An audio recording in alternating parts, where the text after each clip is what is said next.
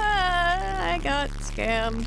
Just hook, line, and sinker. Schnookered like a rookie, shot like a fish in a barrel. Or at least that's what I'd like to say. But in reality, the account that I got scammed by was not an obvious art shilling VFX bot account. It's scary how it's getting harder and harder to tell the difference between what's a real artist and what's a bot set up by a shady company overseas to send a message anytime it scrapes the word commission on a tweet. It's scary how many unsuspecting and well intentioned buyers wind up falling victim to even the more obvious accounts just because they don't know what to look for. And it's scary seeing the lengths the scummy people behind these art theft and scamming rings will go to just to keep whatever money they've conned out of you, or to try and get you to send more money their way. Whether it's posting about a fake emergency or bill that needs paying, or whether it's talking bad about the art that you currently have to try and somehow shame you into paying them, it's just not right. And today I want to shine a little bit more light on what goes on with these accounts. Hey hi ho ya out there to all my big brothers, sisters, aunties, uncles, and, of course, mommies, daddies, siblings, and guardians. It's me, your bite-sized baddie and favorite little brother Mark. My first introduction to bot accounts like these was back on Tumblr with the blogs promoting lascivious ladies wanting your company on a website that will certainly not infect your PC with malware if you click that link. But more and more recently, I've been getting suspicious messages asking to commission me or buy the rights to my artwork, or trying to get me to follow links on ArtStation and even DeviantArt. It's a plague, an entire epidemic of scam accounts and bots flooding the World Wide Web. At this point, I think we all know those Twitter scammers. If you don't, I'm talking about the ones that will flock to any post saying things like, me, me, or I would love to do this for you when you make a post even tangentially related to paying money for art even if it's just a post about you being proud of your VTuber models. Or if it's just a post of you saying, I wish someone would commission me to draw XYZ so I can get better at drawing it. Their accounts usually have obviously traced work, free assets from the Adobe shop, and the most rudimentary DaVinci Resolve editing on their page that would make any editing 102 professor instantly become the Windows Movie Maker particle disintegrate effect. And yet, person after person falls for these obviously lugubrious accounts. Honestly, I never thought I would be one of those foolish schlubs who fell for it. But how the turntables. Like a boomer who knows not of email, or perhaps a 10 year old in Sephora who has only ever used a cell phone and iPad, I was taken advantage of online. Not only did the person I paid for art try to scam me, but they tried to do it in one of the most brazen and egregious ways I have ever seen in my entire life. I want to do my best to keep you guys from falling victim like me and being stuck in PayPal refund purgatory. But to do that, I need to explain the whys and hows of what really brought us here. You know that I'm an artist and an avid consumer and producer of OC insert and self shipping content. But I'm also like.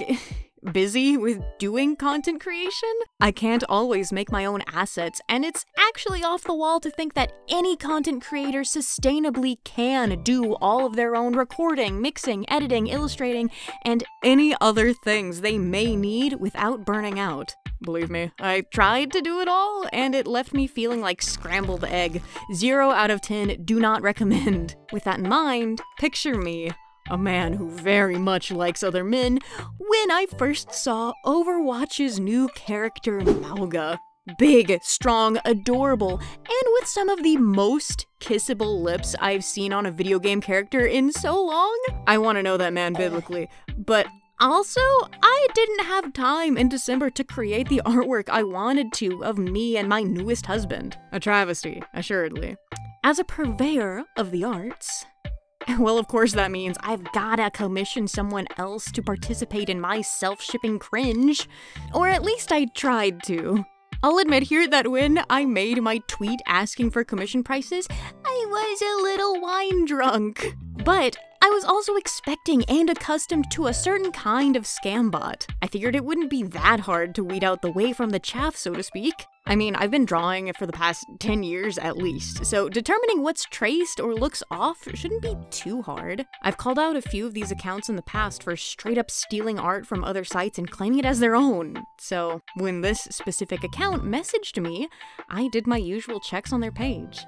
I saw art that wasn't made by AI, but didn't look traced either. I saw that they actually spoke to other people about non commission related things in the replies, and most importantly, they actually had a portfolio site. The most obvious scammers don't usually have those and often send a flood of images to your inbox without asking. But on her Linktree, which is another uncommon thing for art scam bots, this girl had not only an art station with content on it, but she had a Twitch that seemed, though small, active, as well as links to a number of other social media presences like Instagram, Discord, and even Tumblr. I didn't look at all of them, which I'll explain why that was a mistake later, but having that many, coupled with the art station having a consistent portfolio of what looked like original work, made me think, oh, this girl is probably a real person. Today, I'm fairly sure she took those artworks from somewhere else or made those pictures just so that she could fool people into thinking they would actually be getting art by commissioning her. But I digress. I replied to her message to ask what her prices were and if she had a commissions sheet to go along with her portfolio. She in turn asked what my price range was, and I gave it to her, along with explaining specifically that I wanted a picture of my Overwatch character, Dino Mighty, sitting on Mauga's shoulder, and even showed her a quick stick figure reference for what I wanted. She said what she could do for that within my price range and sent me a money request. Pretty normal fare for a commission, and like. Okay, maybe it was the wine drunk Mark brain, but our conversation seemed relaxed and fairly normal. No real red flags.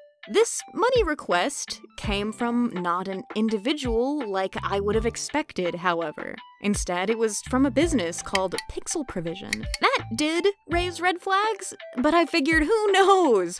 Maybe she was just trying to make an actual business out of her artwork. And also, I'd had a few glasses of wine, so my rationale was not the best. Never drink in commission, lads. It almost never turns out well. Uh, cut me some slack though, my mind was caught squarely betwixt Mauga's titties and some apothic crush, okay?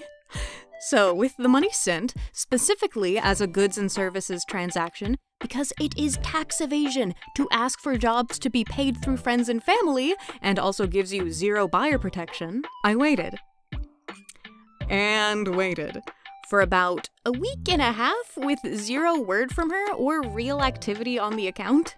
So, on December 14th, I messaged her asking for an update. She replied that she was just about to start it, and that was the last thing I heard from her. Please note that I started this commissioning process on December 3rd, and I waited until January 6th to ask for any sort of update after she claimed to be working on it. So it's not like I was pestering her. I wanted to give her some extra time during the holidays because I know my commissions slow down around then. I also understand that commissions can have long lead times. Hell, my own commissions usually take a few weeks to finish. But if you ghost me without any reply back, I will have no other choice but to assume you're trying to cut and run with the PayPal 60 to 90 day refund reporting limit. Still, though, even when by Christmas I suspected this user was probably just an advanced version of one of those VFX bots, I still tried to give her time. At first, I figured, hey, if it's a scam, I'll just know better next time and I'll get some absolutely ass quality art out of it. At least I can make content on YouTube about it. But now I'm here, reaping what I've sown, with a worse scenario than I ever could have imagined. To fuck around is human, but to find out. it is divine. I sent DM after DM and got zilch. Two weeks into January and nothing. I even said, hey, if you don't message me back, I can only assume you're scamming me and we'll take it up with PayPal. But still, nothing. I can only assume she muted our conversation so that she could just forget I existed until it was too late for me to get a refund. Mm, too bad, I'm a little cagey when it comes to my money and actually kept my word about making a report. Listen, I know $80 isn't the most money in the world, but it's nothing to sneeze at either. That's more than I make per month on Patreon and Twitch combined. That's more than I make on most of my own art commission work. And I'd much rather spend it on someone who actually makes art than just having it be out in the ether. Speaking of spending money on someone who actually makes the art they promise to sell, let me shout out today's sponsor, me! I'm on VGen now. It's a very exclusive site for VTubers and artists of VTubers to buy and sell their artworks. I'm currently trying to get verified on there, so I'd love it if you considered me for a future commission. I'm running a lovey-dovey sale throughout February in celebration of Valentine's Day. Any art that is for a loved one or is shippy in nature is eligible for a 10% discount. Just make sure to mention this sale when filling out your commission form. Thank you so much for considering me. I cannot wait to work for you. So, after the deadline to reply back, I made my claim to PayPal. And less than 24 hours later, a miracle happened. The bitch actually messaged me back, and I don't think a summary can really do this message justice. So allow me to perform a dramatic reading of our exchange. Hello, Happy New Year! I hope you've been having a nice holiday. It's been a few weeks since we last spoke, so I wanted to see if there are any updates on my commission. It's been a few days since you last posted anything. Can I get a response back, please? I'd hate to think you're purposefully ghosting or trying to scam me. If I don't hear back from you with an update after a week, I'll have no choice but to contact PayPal support. Please give me an update or a refund for this commission. It's been over a month since you last responded. Hi, I didn't ghost you. Actually, I had a really serious accident. I've been injured. That's why I wasn't able to do anything. I know I should have informed you. I'll send you the work in a day, I promise. Kindly take the claim back. It's affecting my PayPal. Hmm. Life is already giving me a very hard time. Please don't do this to me. I'll try and send you an update, please.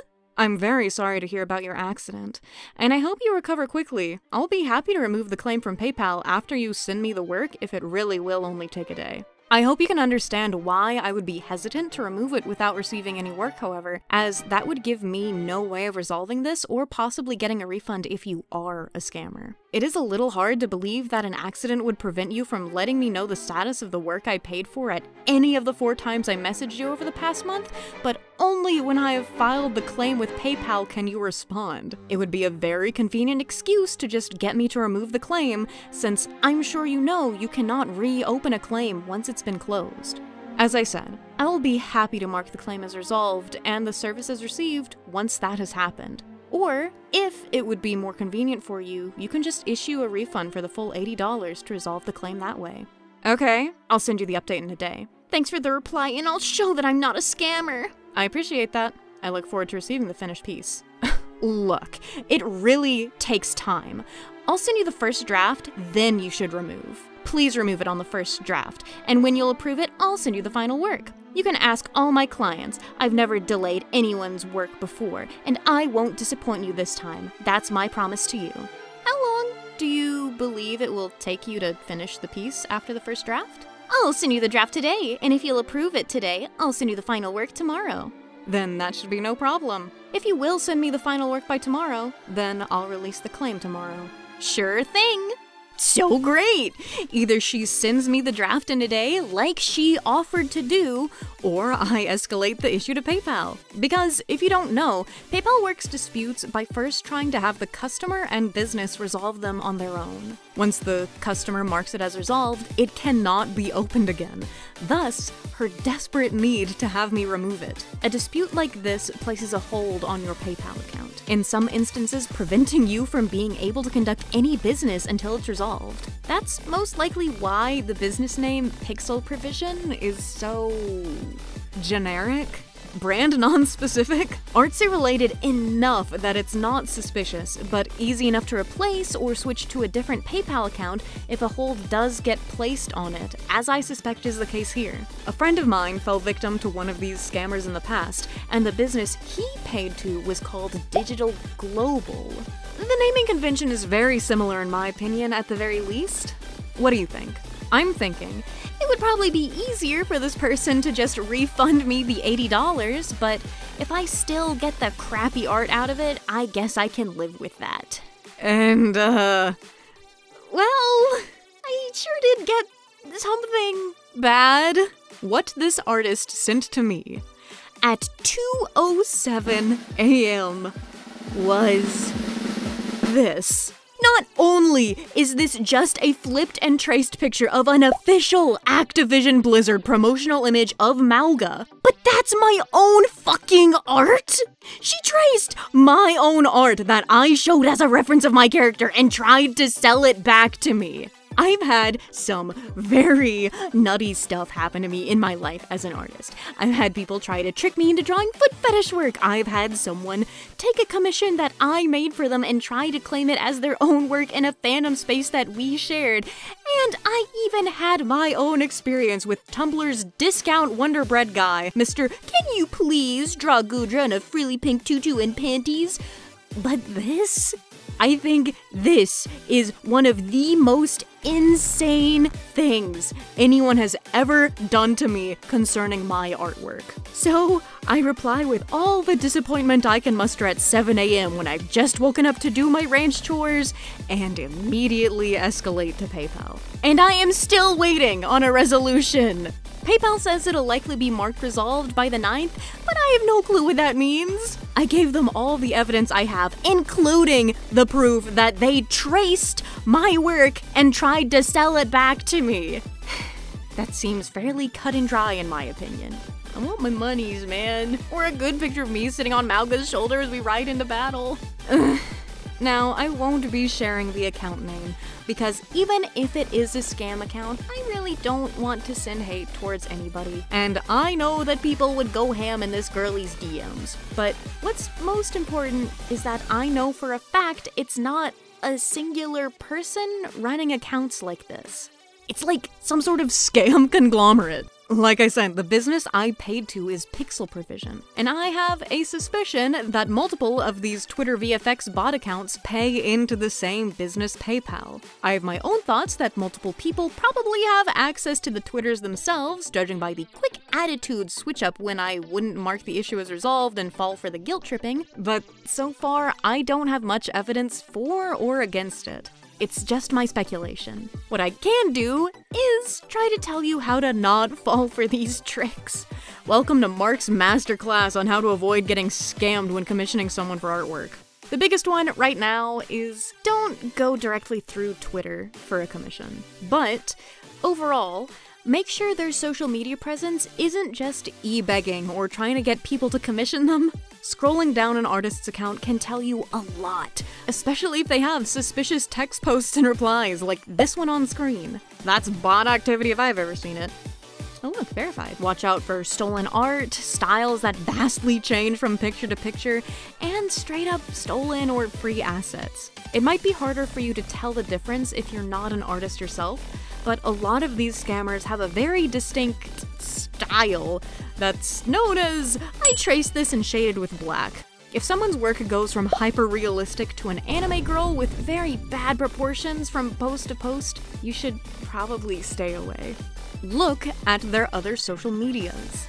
I made this mistake of just seeing that they had socials listed without really checking them. After all, I wasn't gonna join this girl's Discord just because I'm paying her to make art for me. But after looking through her link tree more thoroughly, I found that she didn't actually have a Discord linked. All she had was a link that takes any user to their own Discord homepage if you clicked on it. Keep an eye out and make sure that one person who's trying to get you to commission them isn't posting the same stolen or shoddily made content as another of these scam accounts. You'll see a lot of crossover on these, which honestly does suggest that they're all one big group doing this together, but it can be fairly easy to tell because a lot of these accounts will have a pinned post that has some piece of poorly made or stolen work, and an entirely different account will have that artwork or something else as either their icon or as their own pinned post. Be very wary of stolen pictures being used as icons or selfies. Back in the MySpace days, everyone stole this one guy's pictures and claimed to be him, and myself included as a cringe 12 year old. The scammer used a social media star's selfies as her icon on Linktree to try and seem more real. Thanks, obsessed Reddit simp, for having an account dedicated to this girl for helping me figure out what was up. If you're getting unsure vibes from someone online, do a quick Google reverse image search of their icons or artwork to see what comes up.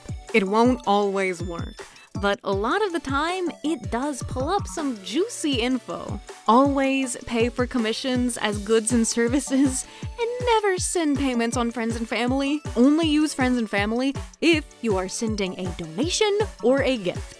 Not only is it legally dubious to do, it's unlawful for someone to ask you to do it. Lastly, always be wary of anyone who comes to your DMs asking you to commission them. Many real artists do this, even if it's bad luck, but by this point, it's just safer to not trust anyone who does it. And if they do, always get an actual commission sheet and look up their username to find some of their artworks. If you can't find anything, it's probably safer to just skip them. Hopefully, you can be better prepared for scammers now, and got a little laugh out of my misery.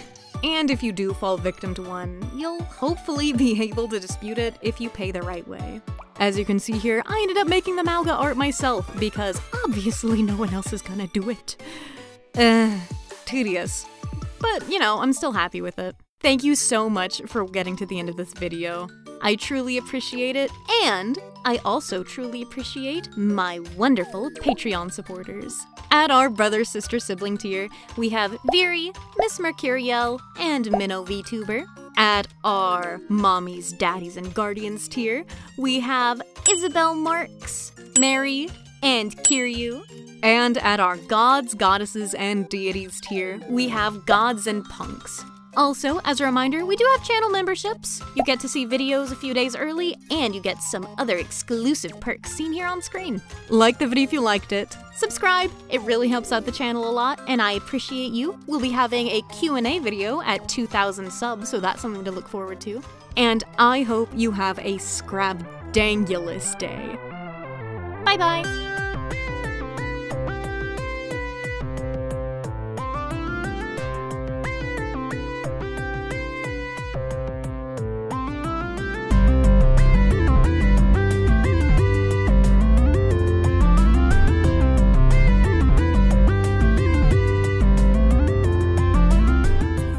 I saw that they actually. I'm getting a telemarketer call. Die! Fucking telemarketer won't leave me alone. I'm gonna throttle someone.